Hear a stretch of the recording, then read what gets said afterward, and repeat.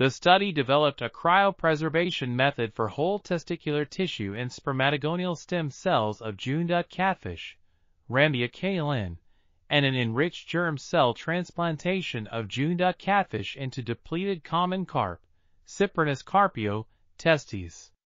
The findings indicate that DMSO exhibited the highest cell viability among the cryoprotectants tested, while Sertoli cells were identified in the recipient gonads, providing support to the stained donor germ cells and indicating the formation of cysts.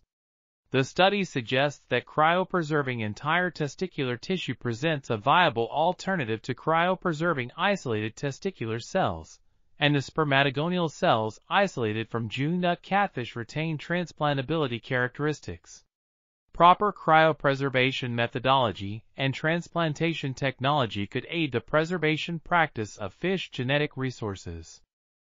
This article was authored by Ivana F. Rosa, Emanuel R. M. Martinez, Melanie Digmayer, and others. We are RTCL.TV. Links in the description below.